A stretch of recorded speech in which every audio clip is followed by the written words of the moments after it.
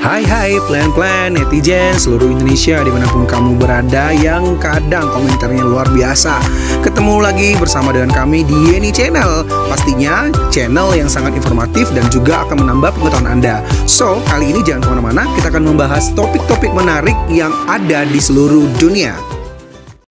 Bingung mau pelihara ras kucing seperti apa? Apa Anda mau cari kucing yang berukuran besar sehingga lebih enak untuk dipeluk? Seperti yang telah kita ketahui, ada banyak sekali jenis ras kucing di dunia. Ada yang bulunya lebat, ada yang bulunya tipis, ada yang pesek, ada yang berukuran besar, dan lain sebagainya. Mana yang terbaik? Tergantung pemiliknya lebih suka tipe kucing yang seperti apa. Tidak hanya secara fisik, tapi juga karakteristiknya. Berikut ini adalah ulasan tentang 10 ras kucing terbesar di dunia versi Yeni Fakta. So, jangan ke mana-mana, tetap stay tune di channel Yeni Fakta karena bersama Yeni Fakta kita akan mendapatkan informasi dan pengetahuan dari seluruh dunia. Yang pertama, Maine Coon. Sebagai salah satu ras kucing paling populer di dunia, Maine Coon memiliki tubuh yang besar dengan sifat yang penyayang mereka suka bermain dan sabar dengan manusia. Ras kucing ini kerap mendapatkan penghargaan sebagai kucing domestik terbesar, termasuk di Guinness World Record sebagai kucing terpanjang. Hal ini dapat dimaklumi mengingat rata-rata bobot seekor Maine Coon bisa berkisar di antara angka 4 sampai dengan 8 kg. Bahkan ada yang beratnya sampai 15 kg. Ciri fisik lain dari kucing ini adalah cakar bulat besar, ekor panjang, dan memiliki warna bulu yang cenderung gelap. Yang kedua, Norwegian Forest Cat. Sebagai salah satu ras kucing terbesar di dunia, Norwegian Forest Cat memiliki penampilan seperti kucing liar. Mereka memiliki kecenderungan untuk bermain di tempat tinggi seperti di atas lemari. Kucing ini tergolong santai, penyayang, dan tidak mudah stres. Mereka memiliki lapisan ganda unik yang mencangkup lapisan bawah yang tebal dan mantel panjang yang halus seperti sutra. Selain itu, mereka bisa menikmati pelukan dari pemiliknya. Bobotnya berkisar di angka 3,6 sampai dengan 10 kg. Di negara asalnya, Norwegia, mereka disebut sebagai Skog Cat. Yang ketiga, Ragdoll. Ragdoll terkenal sebagai kucing peliharaan yang jinak, tenang, dan akan mendadak lemas jika digendong. Kucing yang satu ini suka bersama manusia dan bisa akur dengan anak-anak. Kucing ini cocok untuk mencari kucing pendiam dan penurut. Keunikan terbesar dari ragdoll adalah matanya yang oval dan kerap berwarna biru. Untuk bobotnya sendiri kisarannya adalah 3,6 sampai dengan 9 kg. Yang keempat, American Bobtail. Sebagai kucing yang aktif, cerdas, dan ramah, kucing American Bobtail bisa menjadi teman sekeluarga yang hebat. Mereka mudah bosan sehingga membutuhkan banyak aktivitas yang bisa ia lakukan. Ciri khas mereka adalah ekornya pendek dan gemuk. American Bobtail memiliki berat sekitar 3 sampai dengan 7,2 kg. Yang kelima, British Short Hair. Mata besar dan tubuh kekar menjadi ciri khas dari kucing British Short Hair. Awalnya kucing ini dikembangkan sebagai hewan pekerja untuk memburu hewan-hewan pengerat di Inggris. British Short Hair terkenal sebagai kucing yang independen dan tidak banyak menuntut.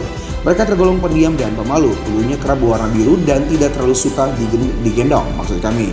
Bobotnya sendiri berkisar di angka 4 sampai dengan 8 kg. Kamu harus mengatur pola makannya dengan benar karena kucing ini berpotensi obesitas.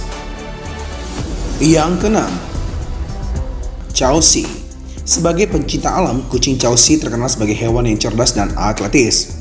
Mereka seolah memiliki banyak energi untuk beraktivitas. Perlu dicatat, mereka termasuk kucing yang suka dengan rutinitas dan tidak menyukai perubahan.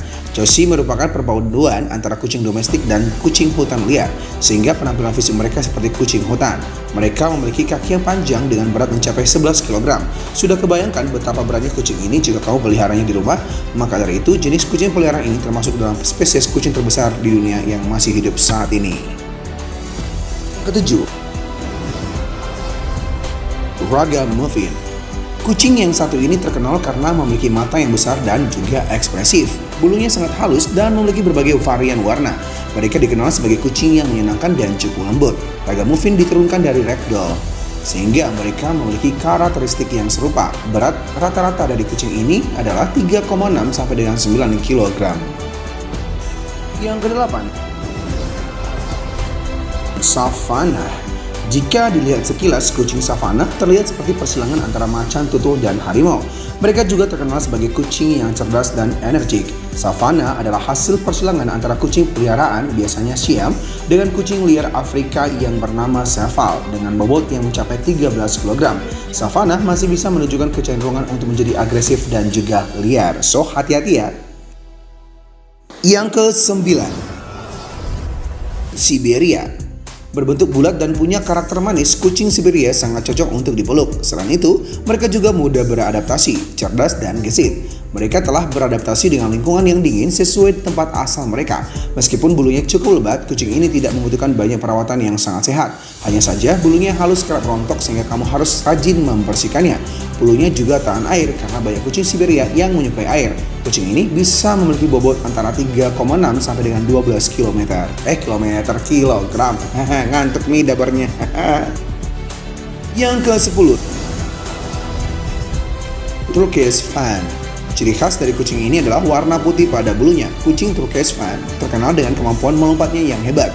Mereka juga terkenal sebagai kucing yang atletis, cerdas, dan aktif. Mereka kerap meminta perhatian ke pemiliknya. Berbeda dengan kucing kebanyakan, Turkish Fan terkenal menyukai air dan dijuluki kucing renang di negara asalnya, Turki. Bobot kucing ini berkisar di angka 3 sampai dengan 9 kg. Demikianlah ulasan tentang 10 ras kucing terbesar di dunia versi Yeni Fakta. Semoga ulasan kali ini memberi informasi dan pengetahuan tambahan untuk kita semakin lebih baik. Jangan lupa untuk subscribe, like, komen, share, dan tonton terus channel Yeni Fakta. Karena bersama Yeni Fakta, kita akan mendapatkan informasi dan pengetahuan dari seluruh dunia.